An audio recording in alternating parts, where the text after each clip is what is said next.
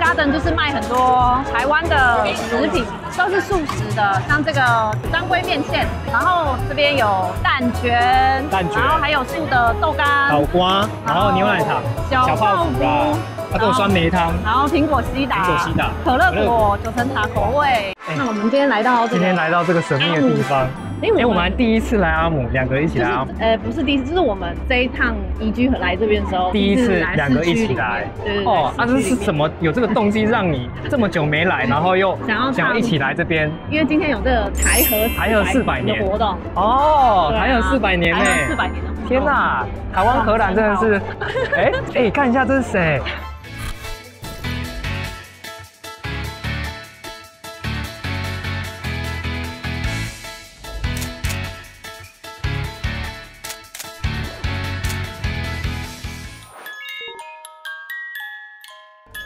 哎，看一下这是谁？Hello，Hello，大家好，公费爸妈，赶快赶快按赞订阅一下好不好？公费爸妈，今天来这个台台河四百年的活动，因为台湾跟荷兰真是太多渊源。最近在风头上，荷兰正正红。知道这个新闻吗？哪一个新闻？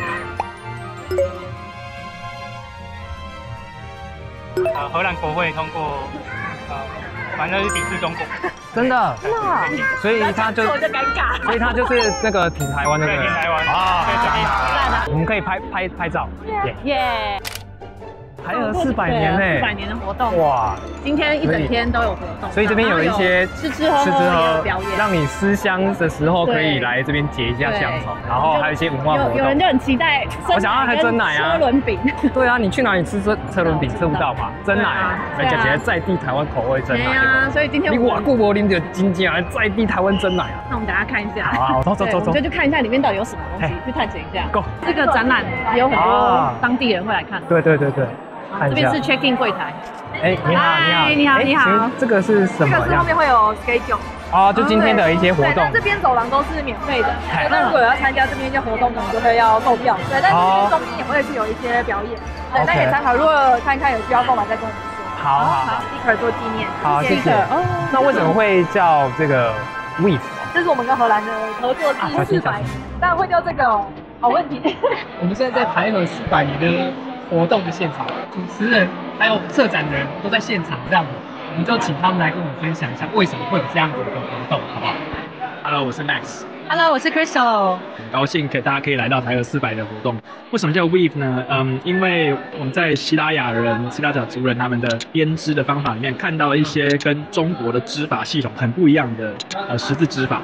那我们相信这应该是啊，很可能是由荷兰人所教他们。那其实希腊人在文字还有租税系统上面也是荷兰引进过来的。所以我们想要借由这个概念来致敬，就是台河四百年的这样的活动。对，因为从我们四百年前台湾就已经步入国际的社会，然后跟外国人有所交流。对，四百年后的今天，我们两国还是非常的热络的友好。没错，没错，没错，没错。还有文化和艺术，像很多这次很多台湾跟荷兰的艺术家互相合作。那您从这个策展开始是多久之前开始规划的？我们从去年底开始有这个想法，因为我们像我们跟代表说，还有一些台湾的朋友，我们都知道二零二四就是台河四百。对，所以他们其实就说，哎，你们要办一些活动，对，就说就是好。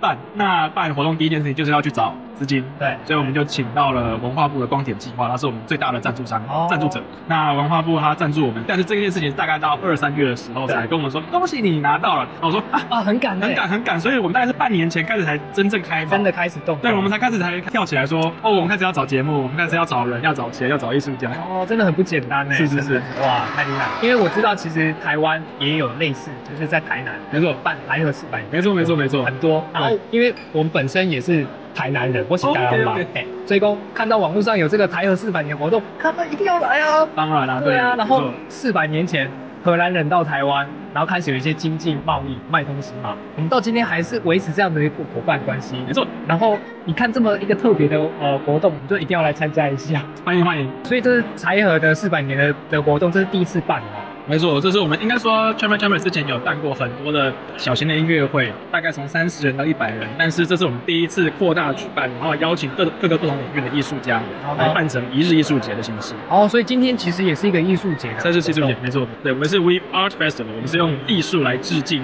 整个四百年的这样子的哇，这样更有意意义耶，没错没错意义更深远，真的真的。想要特别强调今天活动一些主轴嘛，其实这一次的很多艺术的，不管是展览或者是表演或是演讲，其实我们都邀请来自台湾、荷兰的艺术家。那其实就是希望这是一个舞台，让他们可以交流。所以像表演艺术的话，我们有荷兰的艺术家、竖琴家，他是运河音乐节大奖的得主 Yost，他就跟台湾旅河的大提琴家盛群，他们俩就合作，在这边演出一些新的作品。那同时这一个组合将在明年二月、三月到国家音乐厅演奏。哦，所以我们这边是算是抢先看，没错，有世界首演作品。哦，不干单呢，对对对一下。然后还有我们有邀请到 Lord of Formosa，就是福尔摩沙之王的作者 Joyce，他来这边讲他的小说作品。哦那这个福尔摩沙之王其实讲的就是国姓爷的故事，因为他自己是荷兰人，所以他就写这一段四十年间荷兰人到台湾，接着又被驱逐的这个故事。我今天来之前，我有稍微研究一下，我觉得还蛮有趣，历史脉络有很多相关的那些背景。当初荷兰人为什么来到台湾，还有后面发生很多事情。等一下我在路上有空再跟你各位分享。如果有兴趣的话，你们也可以去看一本书，叫做《海上佣兵》。海上佣兵，对，你去查，他介绍的就是郑芝龙的故事。郑芝龙的故事更精彩，因为他其实是周旋于中日和，甚至西班牙、葡萄牙的一个易道非道、易官非官这样子的人物。就是一个海盗来着。对他就是一个海盗，可是大家都想把他收编为官，对因为他不希望他变成一个到处乱窜，然后不受控制。可是事实上也没有人可以控制他，是是非常有趣的角色。我觉得这个是台湾历史非常有趣的一部分。对，所以其实这这三四十年间发生很多事情，没错很有趣。然后我们还有另外一位翻译家，也是荷兰人，他是 Sylvia，他翻译很多中文的文学。对那今天他的演讲主题就是 Poetry in Motion，他介绍台湾的诗人跟诗集。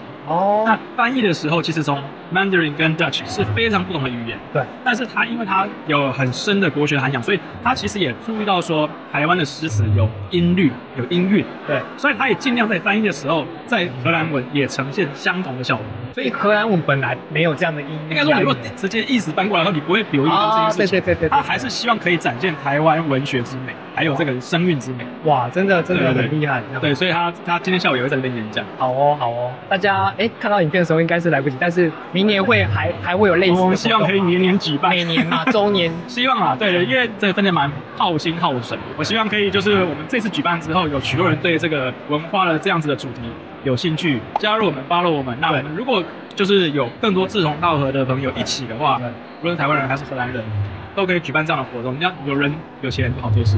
对，真的真的，我我觉得这个活动真的很好，因为一开始像我就是比较肤浅，我就是只来吃东西。对，但是其实我我我讲真的，但是我们后来发现，你真的在查这些相关资料的时候，发现其实有很多像台湾跟荷兰在文化上面的交流，没错，这个历史故事很多啊。有时候你自己去查的时候，就只是看到呃一个角而已，小角，一山一角，没办法看到一个全面。然后我们的教科书常常在描述的时候又非常的简短，或者是非常的在某一个史观去描述整件事情，那这样其实很可惜。所以鼓励大家都去了解。对，所以这种文化交流，我觉得大家有机会的话可以多来看看。希望明年还可以再看到。希望希望，我也希望明年可以继续举办。好，那我们就谢谢 Max。谢谢。哎、这是什么？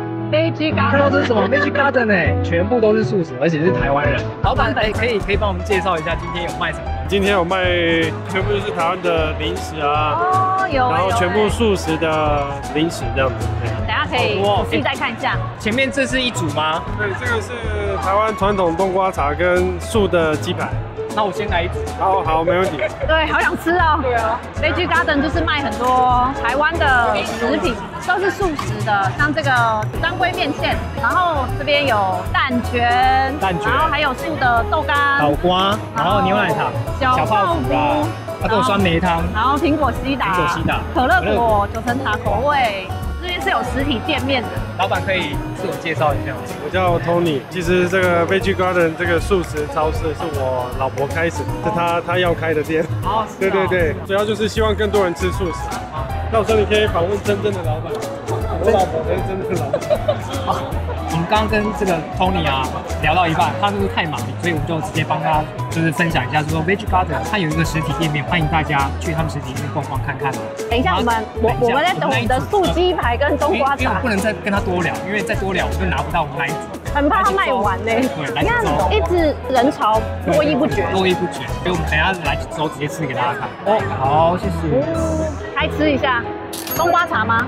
哦，这冬瓜茶好喝哎，好喝哦。好喝好喝，冬瓜味很浓哎。嗯，现在刚才当归茶啊。哎，台湾味的冬瓜茶哎。益丰冬瓜茶。这让我想到小时候便当里面出现一袋的冬瓜茶，哎，这是年代久远。美国包那种，哎，鸡排，鸡排鸡排。来来来。嗯，哎，好吃哎。它咬下去那个胡椒的香气，然后咸咸的，真的很像台在台湾吃鸡排感觉。哎，喝一口接一口哎，哎，它这个纤维你看一下，一丝一丝的，让你觉得好像真的在咬。哦，真的很像。外面有酥吗？外面酥的，炸的酥酥脆脆。哦，好像很厉害，我要吃。我这个会一口接一口。这个真的很好吃哎，这样喝这样呢？它里面有点胡椒。对啊，我就跟你讲那个胡椒味。胡椒味，然后。味道蛮重，但又不会很重咸，很台湾味的那种，很香的那种鸡排味道。对啊，外面好像有点像面包屑那一种酥酥的口感啊，然后咬下去胡椒，然后那咸味出来，然后加上那个口感，哎，做起来很好吃哎，真的很好吃。利亚有机会来到 Veg Garden，一定要点一组来吃看看。我们现在来一个 Jane Spin。你看到桌面空空，不是他没卖东西，是卖光了。卖光。我们想说来这边看有没有素食的东西。哎，听说也是有一些素食是可以吃的。如果是在到店里面去看，哦，对，我们现在店里菜单上来讲，我们有大概两三个是吃吃素食泡菜嘛，有泡菜，有泡菜大食，然后还有お好み焼き大阪烧口味。大阪烧上面我们会放那个海鱼片，所以可以把它移掉。啊，了解。它还有一个品相叫高丽飞鸡蛋饼，就是有放番茄，跟放老婆花露、洛梨、洛梨，对，就是会加洛梨， 对，然后上面会加一些那个芝麻酱。哦，听起来就很好吃哎。对啊，很厉害。原本这一摊应该是有卖真奶，就全部都没有了。谁要卖真奶这个？哇，其实我们大概一两个小时前就卖完。一两个小时前就卖完，抢包，所以大家现在很多人都到那个。店就是就是站在这边这边这样走过去，对，会有真奶吗？对店哎，现在我不敢说，因为现在我因为一个一两百个人都待在去那边了，所以我想决定是了解了解，应该赶快去整一杯。那间店蛮有名的，好像很久以前就就是一直有新闻上新闻吧。的未来有机会会再开发更多素食的产品。我们是我会再跟我们的老板做讨论，然后我们会增加我们菜单的多元性，因为我自己也是素食，所以。我自己也希望就是能够多一点素的分量。嗯，太棒，太好，太好了。谢谢，谢谢，谢谢店，谢谢店长，谢谢，谢谢。希望以后可以到店，然后直接去吃到更多好吃的。对啊，一定是没问题。好，谢谢。哎，我来到 James Bean 的本店了啦。哦，看外面人那么多，排队，大家都来这里。Hello。那给啦。哎，人不会高，明你也可以穿好些啊啦。对呀，我们刚刚采访才好久，就一走过来。就有人帮你点好，点好了啦！天哪，狼金鹤，狼金鹤啦！哦，有这种朋友真的是，真的是赚到了，赚到了！哇，太好了，太好了！这是真奶耶，赶快试喝一下。真奶。哦哦，这真奶比较北派呢。它这个真奶，因为我我有听那个店长说，他是用牛奶、鲜奶去弄的，我会觉得牛奶好像跟我预期中没有。该不会是早餐店的呢？喝起来就像早餐。天哪，那我要喝。是早餐店那种，是你喜欢那种早餐店的那种奶的味道，是不是？有没有？哦，忍不住卷舌一起来，好好喝，好好喝，好喝。哎，珍珠好 Q 啊！然后还有那个，它可能用蜜蜜过吧？啊，对，它素食挂包，看一下。哇，挂包哎！这是感觉是杏鲍菇嘞，炸杏鲍菇哎，看起来很好吃。啊，有香菜，赶快把它吃掉。它看起来蛮丰丰盛的。对啊，试吃一下素食挂包，哦，感觉就很好吃哎。它这个黄色是什么酱？它黄色酱有点像芥末。芥末。芥末酱。看杏鲍菇，好吃。好吃啊。新鲜嫩，最后酱。喝酱。但是我是比较希望有照烧口味的。你想要吃传统的？对，我想要吃传统的那一种。不过这个不错啦，那边可以吃到这个东西。好，来吃这个蛋饼哦，蔬菜口味蛋饼。哦，里面有很多蔬菜，番茄，番茄，蔬菜。哦，很想吃蛋饼，然后来吃一下。我们还特地没有吃早餐，也没吃中餐，结果现在时间已经是已经四点了。你在吃今天的早餐跟中餐。蛋饼看起来很丰盛，超厚的。哦，真的。有一秒回到台湾吗？我跟你讲，它酥酥的，然后里面其实它有点像葱油饼的感觉，里面油油的，很有饱足感的感觉，就香哦，哎、真的很香。然后那酱油是是我喜欢的那种台式酱油，台式风味然。后搭配那种葱抓饼，那种脆皮脆皮蛋饼的口感，不假哎，那跟你自己买葱抓饼来煎不一样，不一样。它这个比较油，比较滋润，比较好吃。那我下次油倒多一点。好，可以去看看，我们自己煎好像会干干的，它可能很油吧？这样才好吃。对啊，有油才好吃。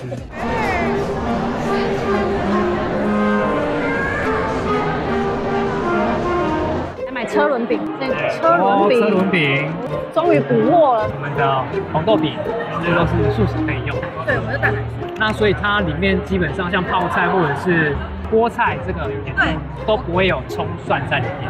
没有这是红豆，红豆的、然后这是泡菜。泡菜的，我们要来感染一下文化的气气质，增加一些文化的底蕴。结果走回来，就人家收摊了，关了，都是休打外面已经打烊，这边要收摊了。太早收摊了。糟糕，我们真的跟文化无缘。对啊，没有，我们等一下再来讲一些文化的小故事。你说你做功课的东西。对啊，我做了功课。嗯，那我们现在吃这个车轮饼，车轮饼，先来讲讲点呢，这是泡菜，红红的有没有？红红的。嗯，哦，那泡菜这个咸甜咸甜的哦。他说马铃薯吧，泡菜马铃薯。啊，这个是有马铃薯啊。它泡菜这样吃起来不会很很辣，你可以知道泡菜脆脆的口感，然后不会很辣，呃微辣，然后搭配这个甜甜的面皮，这样吃下去咸甜咸甜的，礼拜酱另外一个口味是红豆，红豆饼、哦，就是红豆，红豆泥。红豆泥。啊，我想起来了。它这个吃起来口感，饼皮吃起来口感比较有点像车轮饼跟铜锣烧之间的那个口感，所以吃到这个红豆泥，我就印象就想起来，那个味道就是跟你吃铜锣烧有点像，所以有点像铜锣烧。铜锣烧的口感，好吃吗？好吃。哎，它里面有卡士达酱，你每次点红豆饼是都要一个红豆一个奶油，小孩才做选择。我一次给你两个，你看，所以它里面也有卡士达酱，哦，吃起来就不会那么干。这样很搭哎。对啊，嗯，今天好像很忙碌哎，我觉得一整天一直遇到象中还要遇到很多热情的朋友朋友，然后还有粉丝、还有同事，同事，然后还有开始就遇到崩溃方啊，赶快订阅对，还有很多在这边打拼的台湾人，，对，对啊，好多、哦，觉得感觉很多哎。很亲切，很就是亲切感。对，就是觉得哦，有有那种回到家乡的感觉，对啊，我觉得这也是，呃，这次想说临时起意来参加台俄四百年活动，在阿姆斯特丹办这个活动，我觉得想要有点家的感觉。那你知道，呃，台俄四百年这个活动，哎、为什么是四百年吗？为什么是四百？因为今年是二零二四，那请问你，那四百年是从什么时候开始？你啊，四百年，你为什么要搞我这个？好了，就是一六二四年开始，一六二四年，然后哦，现在就是二零二四年。真的是四百年。对啊，真的是四百年啊！所以一六二四年是什么什么样的事情一？六二四年那个时候，荷兰人啊，他到台湾盖了一个叫什么热兰遮城。热兰遮城。为什么叫热兰遮城？因为他的荷兰文就叫 Zeelandia。Zeelandia。Zeelandia。Zeelandia。哦，Z 就是海，对浪的就是路，对，就是荷兰现在一个省份叫 Z 浪 z 浪。，Z 浪。哎，然后呢就在荷兰呢海边。那时候就是在这边盖了一个，呃，在安平那边盖了一个古堡，就叫热兰遮城。当初荷兰人他们其实在更早之前，他原本是要在澎湖那边设立据点，嗯。他要做生意，嗯，就是荷兰的东贸易嘛。东东印度公司，嗯。哦，他们开船到亚洲、东东亚、东南亚那边，要找到个贸易的机会。他这个经济模式呢，就是在台湾把一些物资，像鹿皮、糖卖到日本，然后收取白银，然后然后白银之后呢，去大陆买丝绸，因为欧洲这边人很喜欢丝绸，那大陆的丝绸就他们欧洲很喜欢，嗯他们就把再把丝绸卖到欧洲来赚取黄金，这是他的一些经济的。所以先跟日本交易完，然后再把赚到的钱再去大陆再去买东西，然后再卖回欧洲的。对对对对就是一个循环贸易循环链，有一个交易模式。对他的交易模式是这样，所以他一开始看的点哦是在澎湖这个地方。嗯他在澎湖这个地方，因为当时是明朝的时候，明朝讲啊，澎湖最喜欢到门口，你来问到门口这个什么买啦，你可以你说外靠。大陆叫他不要在那里，对，明朝叫他说不要，哦我爱和你明叫这什么，朝叫说不要，嗯，你来问到门口这个什么我不爱。所以就跑你到了去你去外口啊，外口有一个所在是台湾啊，大元，大园台湾，台湾，大园，你可以看到一些文献上面，荷兰的一些文献上面也是写它的大园，园是哪个园？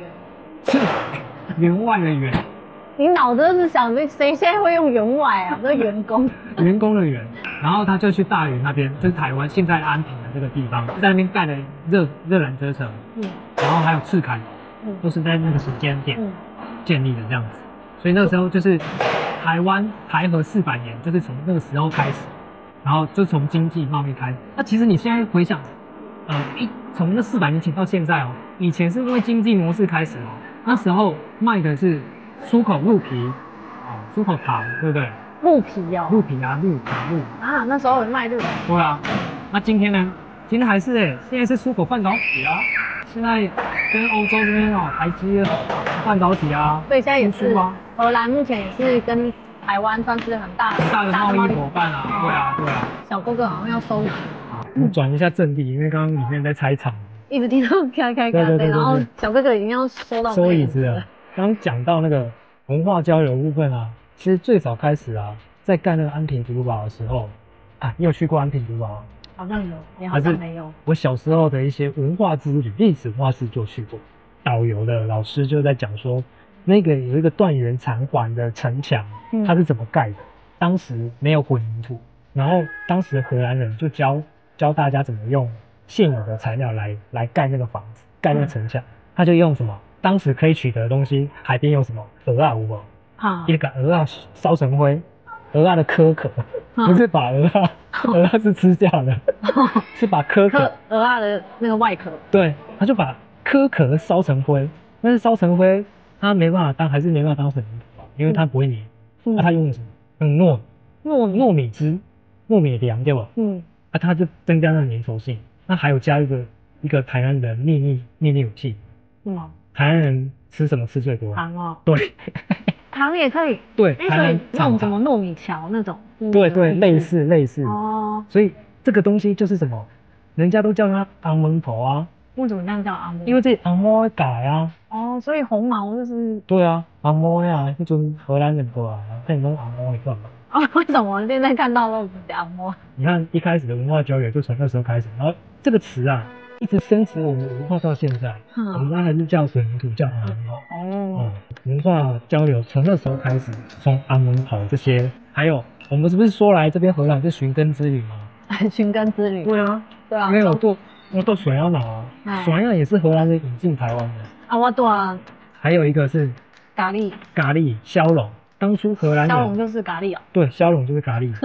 当初荷兰人他一开始到大园海安平这个地方开始建筑一些城墙，然后盖房子啊，那就是找这附近的一些当地的原住民。那时候是西拉雅社的族哦，有几个族群啊、像骁龙社哦，他就找骁龙社送礼物给他们，然后请他们哎哎，你可以带我去哪边砍树啊、砍竹子啊去建西拉雅是，西拉雅是台湾平埔族的一个族群，所以你说荷兰人就会送礼物给他们，然后叫他们带他去干嘛干嘛这样。对对对，就带他跟他那个是广告嘛，当哦，所以就从从那骁龙，时候开始，从骁龙骁龙是咖喱那个区域，所以我可能有套点家你的是有套点 那个荷兰人的血统，对吧？寻根之寻旅，根之旅啊。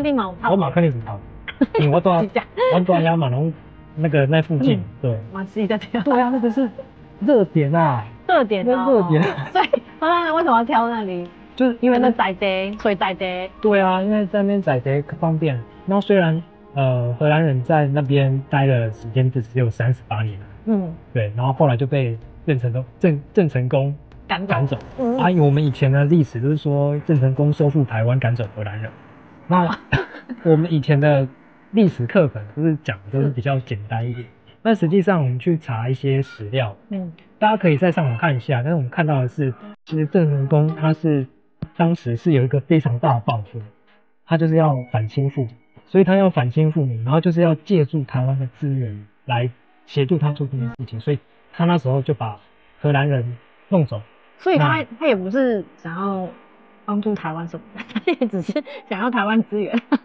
我觉得大家都是有目的的啦，因为他哦他最终目的是想要反清复明嘛。那以当时的环境，台湾就是化外之地，那只是说荷兰人有看到说，就台湾刚的资源刚刚有提到说，原本是要在澎湖那个地方设据点，啊，确实他们有设据点，但是后来又一些呃因素，他们被又被明朝的政府赶出来，然后往台湾走。不然台湾的话，其实对他们来讲不是那么友善的点，是因为它离大陆比较远一点。哦第二个是那个然后他，买丝绸不方便。对，它比较远。那第二个是它那个呃港口不是那么深啊，所以不适合大的船只进出，因为台江内还是比较容易淤积的。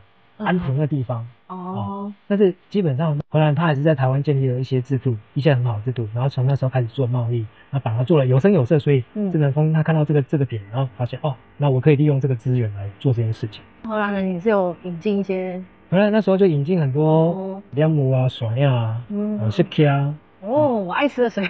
就刚好是一个爱吃的，对啊，就是他那时候引进的、对啊，所以我们也是从从四百年前就有这样子的那个嗯的这个交流开始，然后到现在这样子。那所以今天我们就是带大家来参观一下台河四百在荷兰阿姆斯特丹这边办理的活动。我觉得这个活动很不错啊，就这样的交流。很感谢主办单位今天就是办了这样子的。对啊，让很多不管是荷兰人或台湾人都有更深层的一个了解双方的一些文化背景。嗯，然后我觉得就是来这边吃吃喝喝，然后看文化 还不错。对啊，就希望明年或者是后年，还有机会或是一直都每年都会有这个活动嘛。对，今天就差不多到这边了。那我们就下下次影片见见喽，喽拜拜拜。